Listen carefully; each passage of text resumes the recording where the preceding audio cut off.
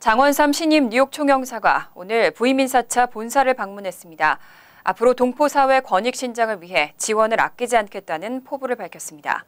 임동규 기자가 보도합니다. 장원삼 신임 뉴욕 총영사가 부임했습니다.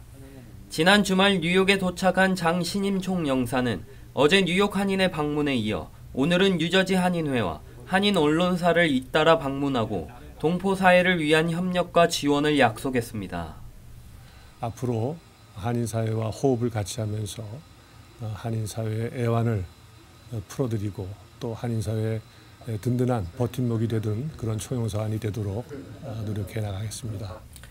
장원삼 신임 총영사는 한인 사회 주요 이슈들을 파악 중에 있다며 동포 사회 현안 해결에 노력하겠다고 밝히고 다만 이슈에 따라서는 정부 차원에서 적극적으로 지원할 수 없는 부분도 있다며 이해를 당부했습니다.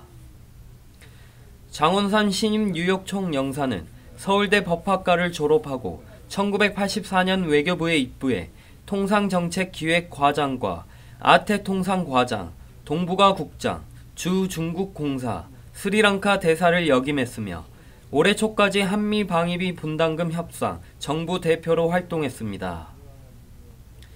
KBN 뉴스 임동규입니다.